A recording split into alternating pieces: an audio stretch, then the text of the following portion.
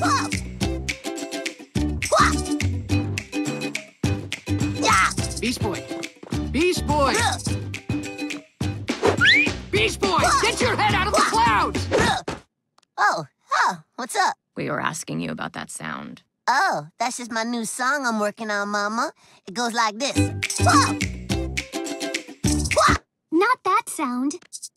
That sound. Oh, you're talking about my rattle. Your rattle. Yeah, that's my sweet rattle. Check it. Whoa! Whoa! And how long has your head been rattling? I don't know. Ugh, Couple weeks. What, your head doesn't rattle? Huh. Let me see something, Beast Boy. Cyborg, I'm going to need a hand. I'm like a maraca, yo! Yeah, yeah. La cucaracha, la cucaracha. Ya no puede caminar. Cyborg! Sorry. Beast Boy, I'm afraid that sound is coming from brain shrinkage caused by years of neglect. You guys are going nowhere.